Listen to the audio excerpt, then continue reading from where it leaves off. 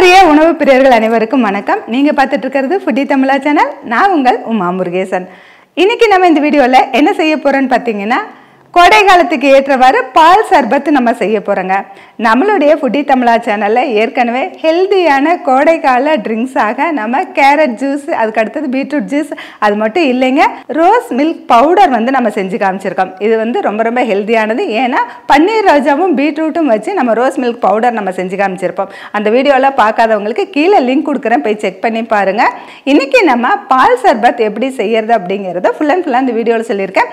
வீடியோவை கடைசி வரைக்கும் பாருங்க. ஃபுட்டி தமிழா சேனலுக்கு சப்ஸ்கிரைப் பண்ணினா சப்ஸ்கிரைப் பண்ணிக்கோங்க.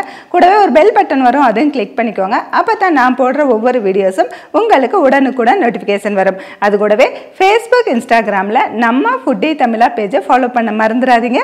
வாங்க வீடியோக்குள்ள போகலாம். நாற்பதுக்கும் மேற்பட்ட மசாலா வகைகள் ஊறுகாய் வகைகள் வத்தல் வகைகள் அனைத்தும் வீட்டு முறையில் தரமாகவும் சுவையாகவும் தயாரித்து நான் கொடுத்துட்டு இருக்கிறேன் இது உலக நாடுகள் அனைத்துக்குமே நம்ம கொரியர் மூலமாக அனுப்பி வச்சுட்டு இருக்கிறோம் இது தேவைப்படுறவங்க கீழே இருக்கிற வாட்ஸ்அப் நம்பருக்கு வாட்ஸ்அப் பண்ணுங்க. பால் சர்பத் செய்ய தேவையான பொருட்கள் ஃபுல் க்ரீம் பால் ஒரு லிட்டர் பாதாம் பீஸின் சிறிதளவு சப்ஜா சீட்ஸ் ஒரு டீஸ்பூன் பாதாம் பதினஞ்சு ஐம்பது கிராம் சர்க்கரை. பால் சர்பத் செய்கிறதுக்கு நம்ம ஃபுல் கிரீம் பால் அதாவது ஆமீன் பால் தான் எடுத்திருக்கோம். இந்த பாலை வந்துட்டு தண்ணி ஊற்றாமல் நம்ம காய்ச்சணும். ஒரு லிட்டர் பால் வந்து கிட்டத்தட்ட ஒரு 600 எம்எல் வர மாதிரி நம்ம சுண்டை காய்ச்சிக்கணும். அதுக்கடுத்து பார்த்தீங்கன்னா நம்ம எடுத்து வச்சிருக்கிற பாதாம் பிசின். இந்த பாதாம் பிசின் பார்த்திங்கன்னா இந்த மாதிரி தான் இருக்கும். இது வந்துட்டு முதல் நாள் நைட்டே தண்ணி ஊற்றி வச்சிடணும். ஒரு நாலஞ்சு இது போட்டிங்கன்னா போதும். இந்த கப்பு நிறைய ஆயிரும். எதுக்காக இந்த பாதாம் பிசின் சேர்த்துறோம்னா பாதாம் பிசின் வந்து அவ்வளோ நன்மைகள் இருக்குன்னு நிறைய பேர் சொல்கிறாங்க அதுவும் வந்து கோடை காலத்தில் குளிர்ச்சி தரக்கூடியது அப்படின்னு சொல்லி சொல்லுவாங்க. ஏன்னா நம்ம கோடை காலத்தில் ரொம்ப ஹீட்டாக இருக்கும். அதுக்காக வந்து நம்ம கூல்ட்ரிங்க்ஸ் சேர்த்தும் பொழுது அது கூட இந்த பாதாம் பிசினும் சேர்த்து கொடுத்தோம்னா அவங்களுக்கு வந்து பாடி வந்து ரொம்ப கூலாயிரும் அதுக்காக தான் இது சேர்த்துறது. அது மட்டும் இல்லைங்க அது கூடவே இந்த சப்ஜா சீட்ஸும் நம்ம சேர்த்துக்கலாம். சப்ஜா சீட்ஸ் வந்து குளிர்ச்சியானது தான் இதை வந்து ஒரு டீஸ்பூனை நம்ம தண்ணியில் போட்டோம்னா ஒரு அஞ்சு நிமிஷத்துலேயே நல்லா ஊறி வந்துடும் இது ரெண்டும் ஊற வச்சு நம்ம எடுத்துக்கலாம். அடுத்தது பார்த்திங்கன்னா பாதாம் பதினஞ்சு எடுத்திருக்கோம். இதை வந்து கொஞ்சமாக சுடுதண்ணியில் இதை போட்டு ஊற வச்சுட்டு அந்த தோலெல்லாம் எடுத்துட்டு மிக்ஸி ஜாரில் போட்டு அரைச்சி எடுத்துக்கலாம். இதை மூணே நம்ம செஞ்சு முடிச்சிட்டோம்னா பால் சர்பத் வந்து ஈஸியாக செஞ்சுக்கலாம். இந்த பால் சர்பத்தில் வந்து ஃப்ளேவருக்காக நிறைய ஐட்டங்கள் சேர்த்துவாங்க. நன்னாரி சர்பத் சேர்த்தலாம் ரோஸ் மில்க் எசன்ஸ் சேர்த்துவாங்க. அதுக்கடுத்து நவாப்பழ எசன்ஸ்னு சொல்லிட்டு கலர் கலராக நமக்கு வந்து கடைகளில் கிடைக்கும். அந்த மாதிரி வாங்கி சேர்த்துவாங்க. ஆனால் நம்ம அதெல்லாம் எதுவுமே சேர்த்த போகிறது இல்லை ப்ளைனாகவே இப்போ பால் சர்பத் செஞ்சுக்கலாம். வீட்டில் இருக்கக்கூடிய பொருளை வச்சு செஞ்சுக்கலாம். அப்படி இல்லாட்டி நம்ம எக்ஸ்ட்ராவாக நம்மளுடைய புடி தமிழால் ரோஸ் மில்க் பவுடர் சேர்த்துனா கூட அது கலர் வந்து கிடைக்கும். வெளியில் வந்து ஆர்டிஃபிஷியலாக எந்த இதுவும் செய்யாமல் வீட்டில் இருக்கக்கூடிய பொருளை வச்சு நம்ம பால் சர்பத் எப்படி செய்யறதுன்னு பார்க்கலாம் வாங்க.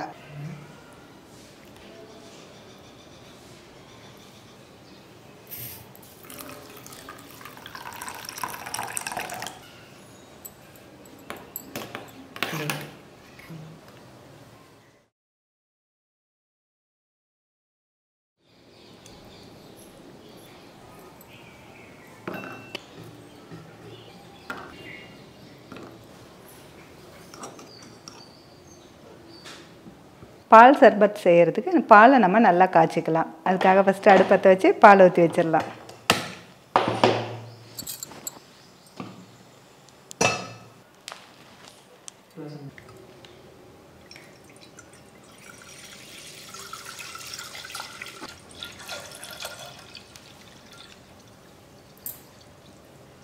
பால் சர்பத் செய்கிறதுக்கு நம்ம சப்ஜா சீட் வந்து ஊற வச்சாச்சு பாதாம் பீசன் ஊற வச்சுருக்கோம். அதுக்கு அடுத்தது நம்ம பார்த்தீங்கன்னா பாதாமும் நம்ம தோல் உரிச்சிட்டு அரைச்சி வச்சுருக்கோம். அதுக்கு அடுத்தது பால் அடுப்பில் வச்சுருக்கோம். பால் வந்து நல்லா சுண்டை காய்ச்சணும்னு சொல்லியிருந்தேன். இது வந்து அடி பிடிக்காமல் நம்ம கலரிக்கிட்டே இருக்கணும். கரண்டி வச்சு நல்லா கலரிக்கிட்டே இருந்து நம்ம பொங்கி வரும்போது கலரிக்கிட்டே இருக்கணும். ஆடை வந்ததுனாலும் அதையும் சேர்த்து நம்ம கலரணும் அப்போ தான் வந்துட்டு அடி பிடிக்காமல் நம்ம வந்து பால் வந்து நல்லா திக்காகும்.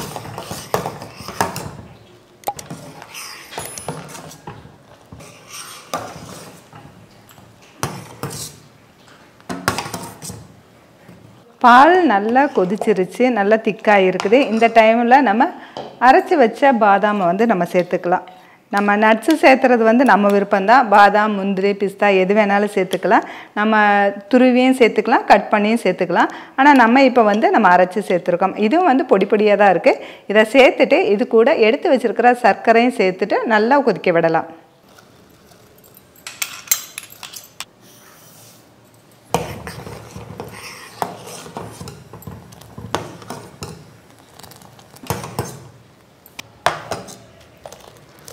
பால் நல்லா கொதிச்சிருச்சு. நம்ம அடுப்பு ஆஃப் பண்ணிக்கலாம். இதில் பார்த்தீங்கன்னா வாசனைக்காக வெண்ணிலா எசன்ஸ் சேர்த்துக்கலாம் அல்லது ஏலக்காய் பொடி சேர்த்துக்கலாம். வாசனைக்காக எது வேணாலும் சேர்த்துக்கலாம். நம்ம இப்போ வந்து எதுவுமே சேர்த்தலை.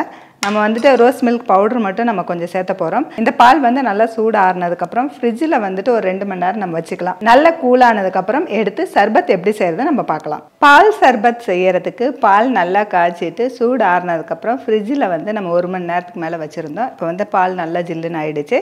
இப்போ நான் எப்படி பால் சர்பத் செய்கிறதுன்னு பார்க்கலாம் வாங்க. பால் சர்பத்துக்கு நம்ம எந்தவித கலரும் சேர்த்தலை. அதனால் நம்ம ஃபுட்டி தமிழால் அரைச்ச ரோஸ் மில்க் பவுடர் மட்டும் நம்ம கொஞ்சம் சேர்த்துக்கலாம். ஏன்னா அதோட கலர் கொஞ்சம் நல்லா இருக்கும். இதை நம்ம கலந்துட்டு அதுக்கு அடுத்தது நம்ம எடுத்து வச்சிருக்கிற சப்ஜா சீட்ஸ் அதுக்கு அடுத்தது பாதாம் பிசின் அதுக்கு அடுத்தது பார்த்தீங்கன்னா ஐஸ் கியூப்ஸ் இருக்குது இதெல்லாம் சேர்த்துட்டு நம்ம எப்படி செய்கிறது நம்ம பார்க்கலாம்.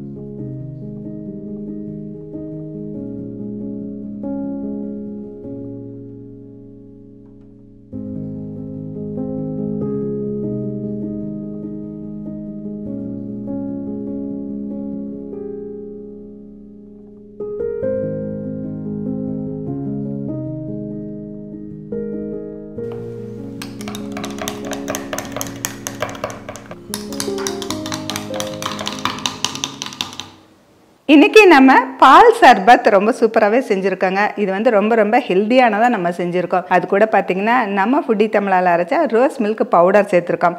அதில் என்னென்ன இருக்குது அப்படின்னு பார்த்தீங்கன்னா பட்டு ரோஸ் அப்படின்னு நம்ம சொல்லுவாங்க. கிராமங்களில் நிறைய கிடைக்கும். அந்த ரோஸ் வந்து சாப்பிடக்கூடியது தான் ரொம்ப ரொம்ப ஹெல்த்தியானது. அது துவர்ப்பு சுவை உடையது. அந்த ரோஜா பூ வச்சு குல்கந்து சாப்பிட்டாலும் ரொம்பவே நல்லது. ஏன்னா வாய்ப்புண் வயிற்றுப்புண்லாம் குணமாகும் அப்படின்னு நம்ம சொல்லியிருந்தோம். அந்த வரிசையில் நம்ம அந்த ரோஸும் அதுக்கு அடுத்தது பீட்ரூட்டும் சேர்த்துருக்கோம். கலருக்காக அந்த பீட்ரூட் வந்து ஹீமோக்ளமின் லெவலை வந்து அதிகரிக்கும் நமக்கு தெரியும். அதனால் இதெல்லாம் சேர்ந்து ஹெல்த்தியான பால் சர்பத் ரெடி ஆயிருக்குங்க. இந்த மாதிரி ஏதாவது ஒன்று வீட்லேயே நீங்கள் ரெடி பண்ணி வச்சுட்டு உங்கள் குழந்தைங்களுக்கு இந்த சம்மர் சீசனில் டெய்லியுமே நீங்கள் செஞ்சு கொடுக்கலாம். அவங்க ரொம்பவும் விரும்பி குடிப்பாங்க ரொம்ப ஆரோக்கியமாகவும் இருப்பாங்க. சூப்பராக இருக்குங்க. நம்ம வெயிலில் எங்கேயாவது போயிட்டு வந்தோன்னா வீட்டுக்கு வந்தோடனே இந்த மாதிரி நம்ம ரெடி பண்ணி வச்சுருந்தோம்னா குடித்தோம்னா நம்ம பாடி வந்து அப்படியே கூலாயிரும் நம்ம எவ்வளோ தூரம் வெயிலில் போயிருந்தாலும் ஹீட்டாக இருந்தாலும் பாடி வந்து அப்படியே கூலாயிரும் இந்த சம்மருக்கு நீங்களும் இதை வீட்டில் ட்ரை பண்ணி பார்த்துட்டு கமெண்ட் செக்ஸில் கமெண்ட் பண்ணுங்கள் இந்த பால் சர்பத்தில் எந்த விதமான கெமிக்கல்ஸ் அதாவது ஆர்டிஃபிஷியல் கலர் எதுவுமே நம்ம சேர்த்தலை. இயற்கையான ரோஸ் மில்க் பவுடர் தான் சேர்த்துருக்கோம். இது வேணும்னா சேர்த்துக்கலாம் வேணாட்டி ப்ளைனாக பால் கூட நம்ம சேர்த்துக்கலாம். இன்றைக்கி நம்ம இந்த பால் சர்பத் எப்படி செய்யறது அப்படிங்கிறத ஃபுல் அண்ட் ஃபுல்லாக இந்த வீடியோவில் சொல்லியிருந்தேன். இந்த வீடியோ உங்களுக்கு பிடிச்சிருந்ததுன்னா லைக் பண்ணுங்கள் ஷேர் பண்ணுங்கள் வீடியோ பற்றின கருத்துக்களை கமெண்ட் செக்ஷனில் கமெண்ட் பண்ணுங்கள் ஃபுடி தமிழா சேனலுக்கு சப்ஸ்கிரைப் பண்ணலைன்னா சப்ஸ்கிரைப் பண்ணிக்கோங்க. மீண்டும் அடுத்த வீடியோவில் சந்திக்கலாம்.